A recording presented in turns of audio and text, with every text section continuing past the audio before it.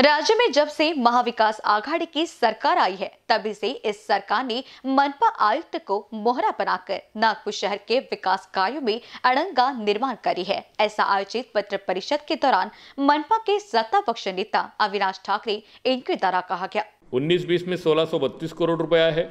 और बीस इक्कीस में तेरह सौ तिरपन करोड़ आया है। ये तीन तीन सौ करोड़ की जो गैप है, वो इस साल गवर्नमेंट ने हमें कोई भी डेवलपमेंट के लिए पैसा नहीं दिया, इसलिए दिखता है।